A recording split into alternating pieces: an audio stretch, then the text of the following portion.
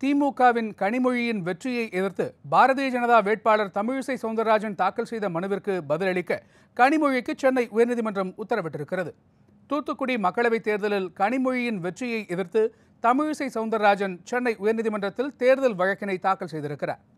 கனிமொழி தாக்கல் செய்த வேட்புமனுவில் ஏராளமான குறைபாடுகள் இருப்பதாகவும் முறையற்ற விதத்தில் இந்த வேட்புமனுக்கள் தாக்கல் செய்யப்பட்டிருப்பதாகவும் பரிசீலனையின் போது தேர்தல் அதிகாரி அதனை நிராகரித்து விட்டதாகவும் தமிழிசை தன்னுடைய மனுவில் குற்றம் சாட்டியுள்ளார். கனிமொழியின் கணவர் மற்றும் மகன் குறித்த வருமான விவரங்கள். பிரச்சாரத்தின் போது ஆரத்தி எடுத்த பெண்களுக்கு இரண்டாயிரம் ரூபாய் வழங்கியதாக குற்றச்சாட்டு ஆகியவை அந்த மனுவில் குற்றம் சாட்டப்பட்டுள்ளன. இந்த மனுவை விசாரித்த நீதிபதி எஸ். எம். சுப்பிரமணியம் மனுவிற்கு பதிலளிக்கும்படி கனிமொழி மற்றும் தேர்தல் அதிகாரிக்கு உத்தரவிட்டு வழக்கின் விசாரணையை வருகின்ற இருபத்தி மூன்றாம் தேதிக்கு ஒத்திவித்தார்.